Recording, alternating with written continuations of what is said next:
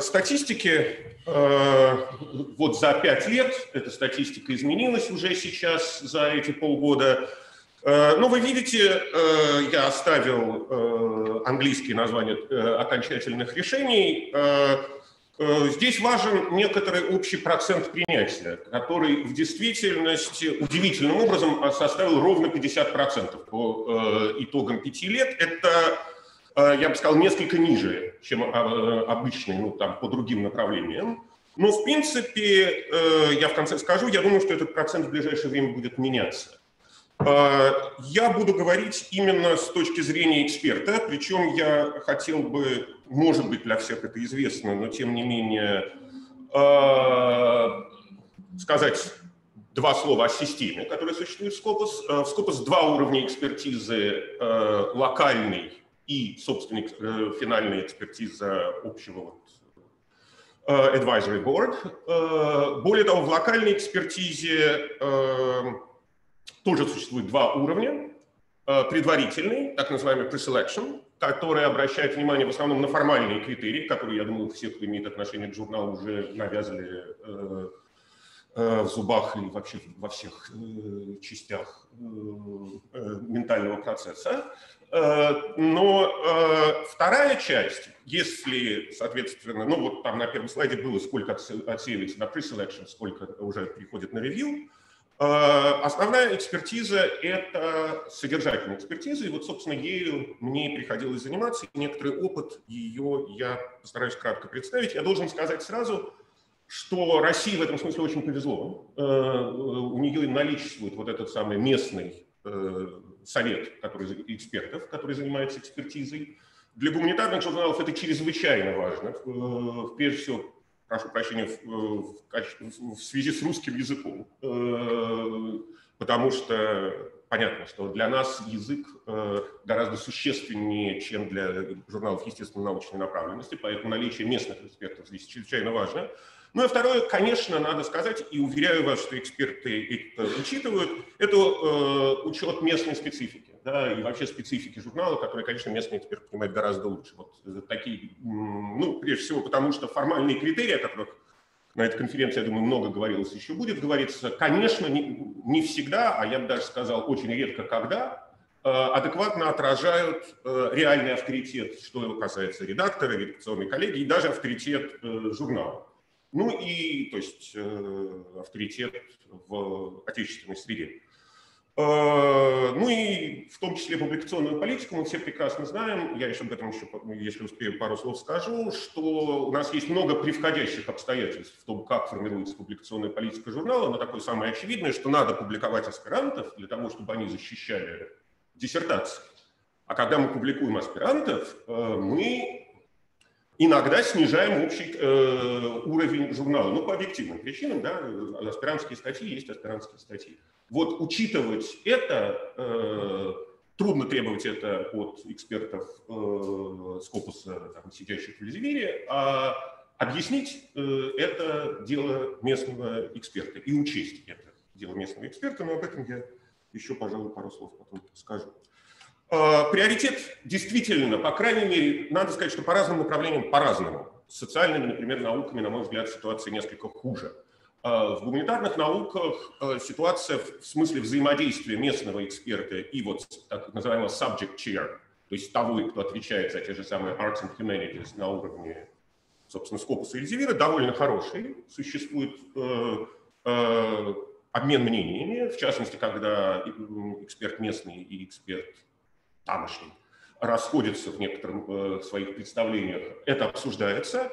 И э, я должен сказать, что в случае Arts and Humanities это довольно редкий случай, я вам скажу, для всех э, экспертных областей. Расхождение в, э, в окончательном решении вот на 120 примерно случаев составило 4 случая. Э, окончательное решение, естественно, за subject chair – и во всех случаях э, решение subject chair было в пользу журнала. Так что в действительности тут э, плохой полицейский, э, то есть плохой следователь в нашей, это как бы я, да, потому что вот хороший следователь так. Так что имейте это тоже в виду, и это хорошо. Ну, критерии оценки, вот я не буду про них подробно говорить, э, просто я э, выделил э, жирным шрифтом те критерии, которые действительно имеют приоритетное э, значение в каждой из э, областей. Да? Э, это, собственно говоря, э, э, ну, в общем, я могу открыть некоторый секрет. Э, вот примерно то, что вы видите сейчас на экране, это то, что видит перед собой эксперт Scopus как в системе, когда начинает э, отвечать на вопросы. Вот эти критерии и подразделы – это то, что там есть. Э, и, соответственно, я выделил, то, что, на мой взгляд, является более существенным и значимым при оценке, по крайней мере, тогда, когда оцениваю я. Естественно, я говорю о своем опыте, опыте моих ближайших коллег.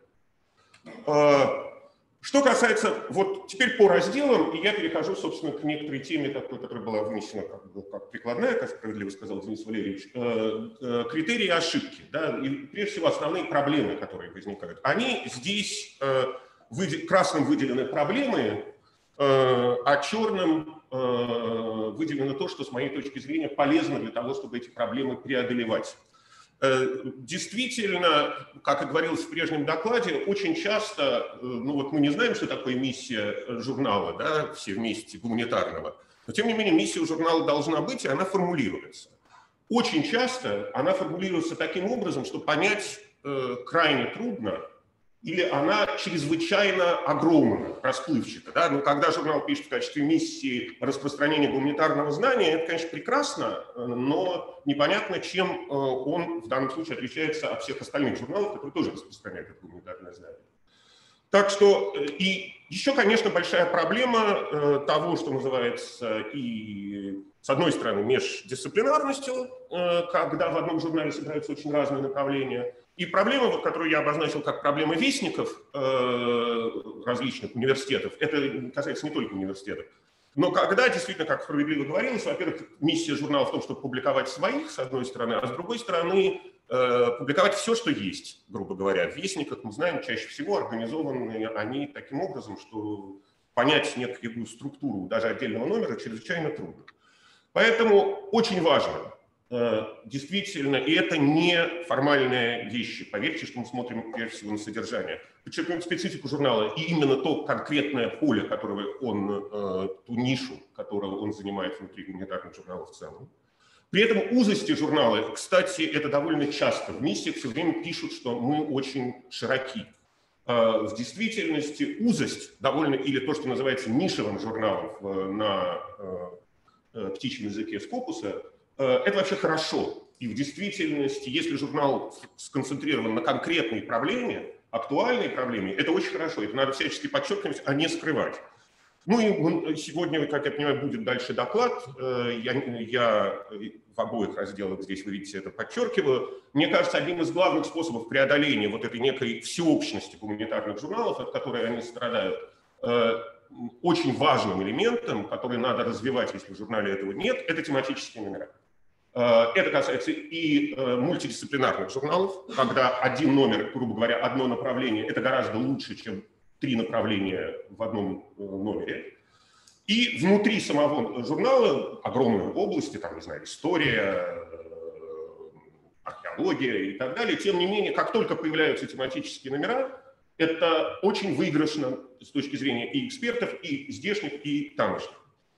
А, ну и, конечно, качество содержания. А, здесь, а, ну вот, я не буду перечислять проблемы, э, они, я надеюсь, видны, да. Я бы сказал, что вот что я часто очень вижу и что в действительности многие считают панацеей, а в действительности такой панацеей не является. Именно стремление выстроить внутри журнала статьи по некоторой формальной структуре когда написано там введение, э, основная часть, состояние вопроса, выводы. Э, это не спасает. Э, понимаете, более того, в действительности, это, я бы сказал, ну, по крайней мере, меня, как эксперта, довольно часто настораживает, потому что это означает, что ну, как бы формальной структурой заменяют структуру содержательную. Если это политика журнала, пожалуйста, но, но в действительности это не отменяет того, что сам, э, сама статья должна быть структурирована, четко выстроена, тем более, что часто эти э, формальные критерии списаны э, с англоязычной системы, которая вообще в принципе отлична то есть в гуманитарных областях от той системы, которой придерживаемся мы. И исследование ей несколько усложняет проблему. Э, конечно, эксперты очень много смотрят на библиографию, э, на ссылки, на учет современного состояния вопроса. Это важно. Э, и, конечно, огромным выигрышем журнала это всегда бывают публикации некоторых уникальных материалов, я имею в виду материалы архивные, археологические раскопки, ну, результаты любых полевых исследований, скажем, труднодоступные или вовсе недоступные для международной аудитории, э, это очень важная вещь, и это всячески надо э, развивать.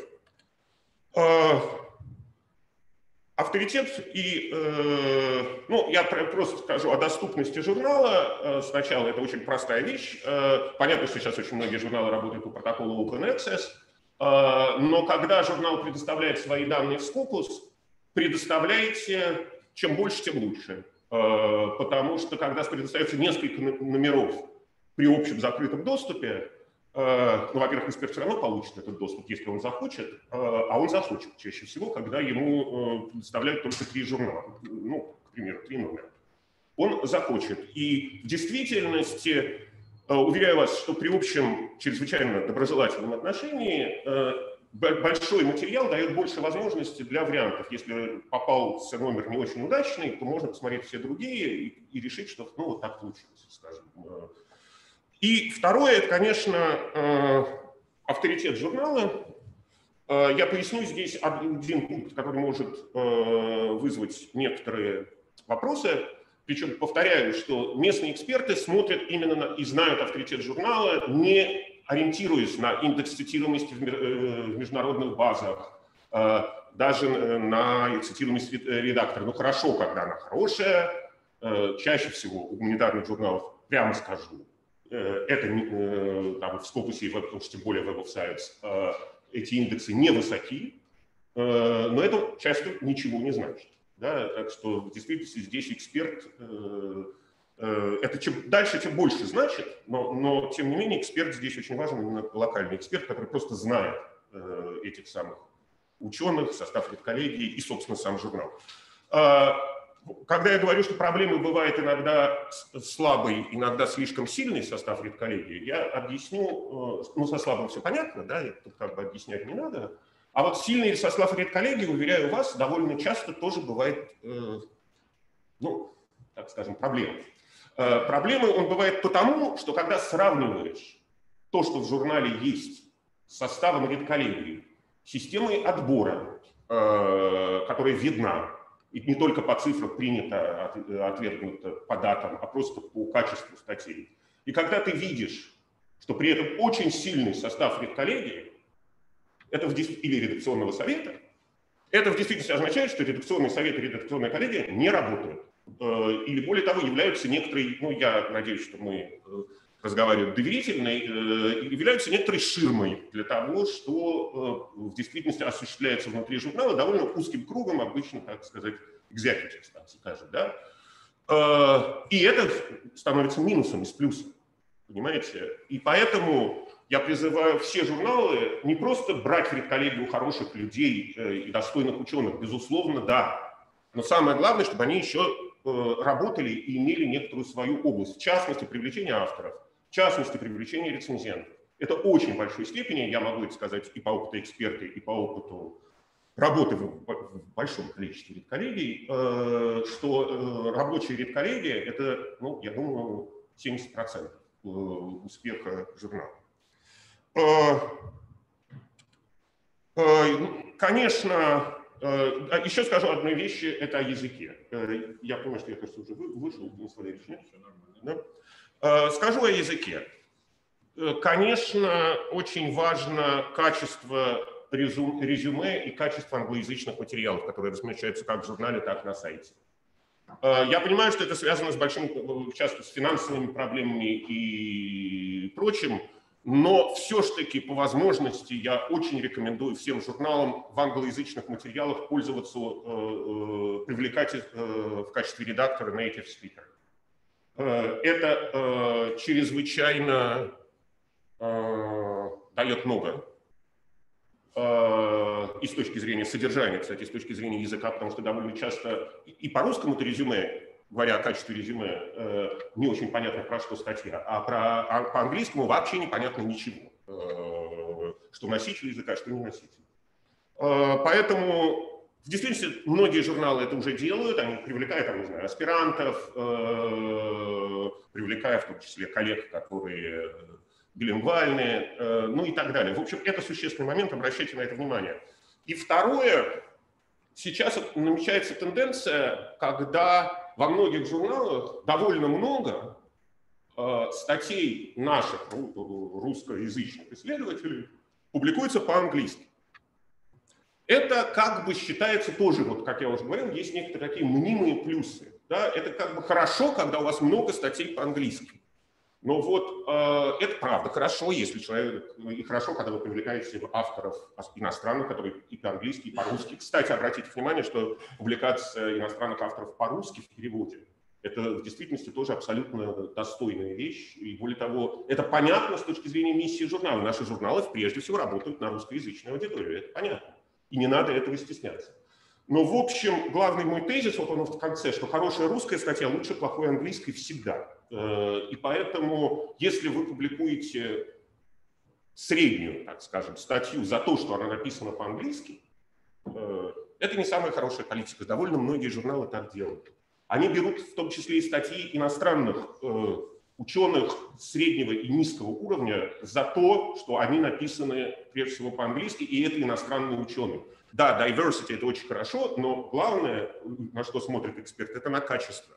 И эксперту, в общем, все равно, э, человек этот из Британии или из, э, не знаю, Петрозаводска.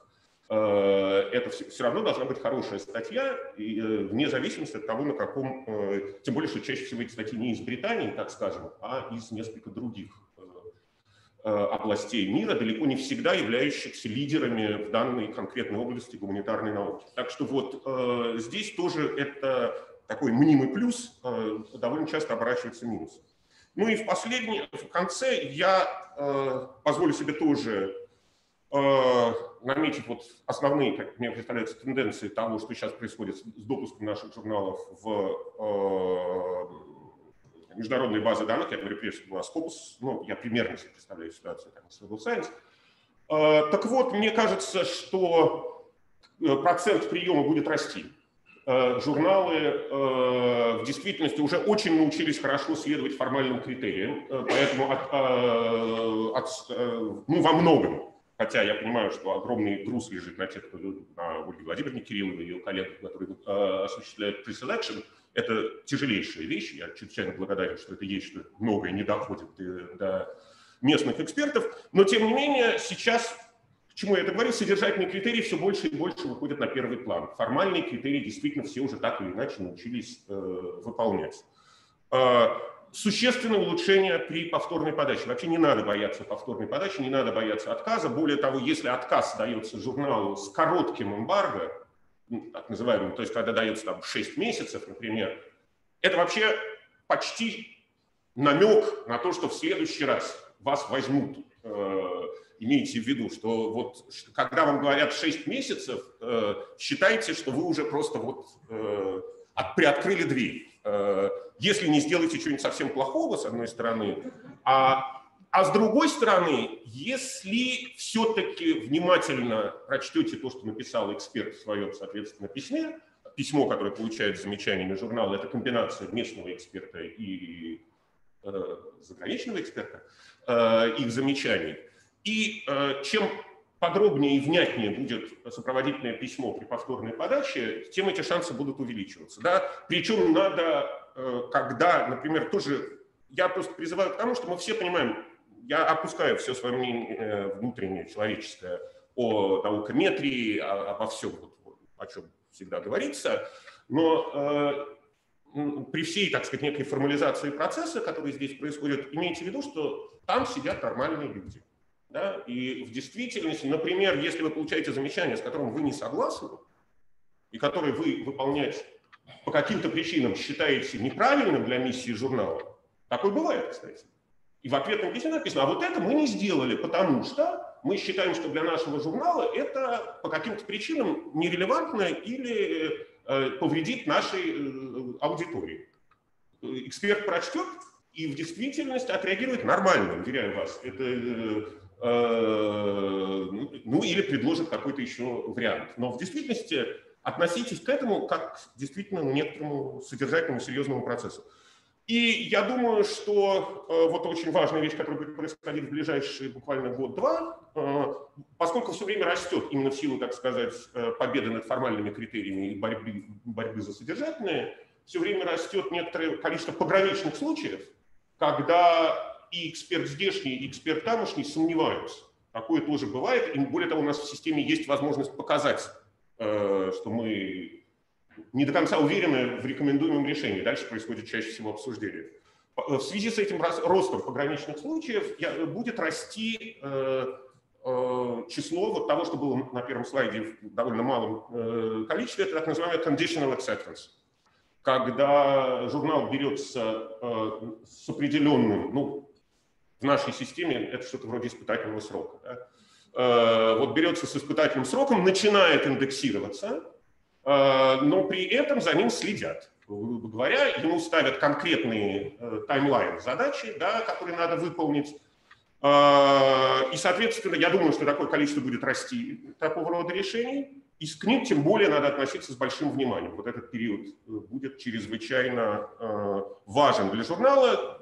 Я бы сказал, что сейчас уже в общем разработаны, но и будут даваться довольно четкие критерии и вот временные лаги, в которых нужно будет сделать то-то или другое. Но, но в принципе и здешние эксперты, и, кстати, эксперты Эльзевира, они склоняются к тому, что лучше взять и посмотреть, чем э, отвергнуть, э, а, потом, а потом еще раз смотреть. Да? Так что в общем и целом, э, те, кто еще не попал, готовьтесь к тому, что такого рода решения вполне возможны, и это хорошо. Э, ну, знаете, я, пожалуй, закончу. Отлично, спасибо, Николай Павлович. Но если можно, прокомментируйте по требованиям Скопуса к авторским коллективам. Угу. Потому что мы точно знаем, что эксперты не любят, если видят, что в выпуске сплошняком сотрудники какой-нибудь одной организации, либо института, либо вуза, или там процентов на 80. А вот по иностранным авторам вы хотите сказать, что вообще даже на это не смотрят? Нет. охвата. Нет, смотрят, конечно. Э, смотрят и на первое, и на второе. И действительно, ну, э, здесь справедливо говорилось, что довольно много существует журналов, которые э, существуют как рупор, иногда очень достойный, чаще всего очень достойный организации, но в действительности, понимаете, все-таки журнал это не э, э, вот журнал это не вестник, так э, позвольте мне э, э, сказать некую крамольную фразу. Журнал это журнал, и поэтому привлекать э, исследователей с максимально широким э, охватом географическим нашей страны, и, по крайней мере, что касается основных научных центров, конечно, нужно. Что касается иностранных э, авторов, да, нет, я совершенно за то, я, э, и Скопус на это смотрит, на наличие э, там, авторов из других стран. Да? Это, безусловно, так. И, и к этому тоже надо стремиться. И вот, в частности, я, когда говорил, я э, могу э, по собственному опыту уже не эксперта, а, а члена редколлегии, знаете, довольно многим очень значимым, уверяю вас, иностранным ученым, э, приятно увидеть, как это ни странно, свою статью, опубликованную на русском языке. Для них это некоторые, э, ну, во-первых, им просто интересно, да, вот они смотрят, э, переведена статья, они смотрят, вот я теперь существую на кириллице, даже если он кириллицу не читает, например. Вот. Уверяю вас, это правда. Э, соответственно, это отдает возможность в том числе им публиковать материалы, которые в каком-то виде были опубликованы по-английски, но тем не менее они там что-то... Э, поэтому перевод статей, это, ну, это считается, прошу прощения, как иностранный автор. Поэтому такой способ, э, скажем, некоторым журналам просто очень помог. А второе, кстати, что им важна русская аудитория. Им важно, чтобы их прочитала русская аудитория. Э, и это э, на русском языке они полагают, что это справедливо до сих пор. Полагают, что это более доступно. Вот способ. Я же говорил о том, э, что если у вас ну, есть журнал, да, в котором написано, что у него там есть авторы, не знаю, из э, Индии, Турции, э, Кипра, э, Алжира, еще чего-нибудь, такие журналы есть. И они все там, соответственно, на английском или французском языке. Я ничего не хочу сказать плохого про... Там есть замечательные исследователи во всех странах, безусловно, но довольно часто эти статьи, которые как бы сделаны для того, чтобы было больше иностранных статей, качество журнала роняет, а эксперт все равно читает статью. Более того, честно вам скажу, когда я вижу, что журнал публикует статью, не знаю, ну, допустим, э, не знаю, по классической филологии, я филолог-классик по образованию, э, классической филологии, ну, не знаю, из, э, ну, не буду называть конкретную страну, но из какой-нибудь африканской страны, мне, во-первых, страшно интересно, что там пишут про э, классическую филологию, а во-вторых, я все обязательно эту статью прочту. И довольно часто оказывается, что лучше бы этой статьи в журнале не было, с моей точки зрения, потому что она как раз роняет уровень журнала, э, при том, что как бы повышает то, что называется geographic diversity. Э, лучше, мой тезис заключается в том, что содержание важнее, чем diversity. Это не значит, что на него не надо обращать внимание. Спасибо. Ну, давайте только один. Маленький, маленький вопросик. Скажи, пожалуйста, как Скопус относится к тому, что широкая объектная часть у журнала и узкая предметная? Ну, то есть, вот, скажем, у нас журнал, он посвящен проблематике мутов, угу. но публикуется там и филология, и история, археология, и там сбоку бантик. Угу. А, особенно это хорошо. А, вот, вы знаете, это то, о чем я говорил в самом начале. Очень важно, почему я знаю, что многие журналы раньше и до сих пор, вот когда они пишут разделы, ну, про этику я говорить не буду, откуда все берут обычно все одно и то же, но э, это понятно. Но mission, например, вот раздел цели, задачи, миссия журнала, тоже иногда э, к нему относятся чрезвычайно формально. Если вы в миссии своего журнала четко напишите, что вы занимаетесь вот, проблемами определенного там, региона, этноса, э, рассматривая с разных сторон журнал, поэтому междисциплинарный и прочее, и прочее, что вы там, фокусируетесь на определенных проблемах по определенным... Это прекрасно. Это, это как раз будет в плюс. Я говорю, что мульти, как и все, да, как diversity, так и мультидисциплинарность может быть плюсом, а может быть минусом. Если она хорошо обоснована и внятно написана в целях и задачах, это только хорошо.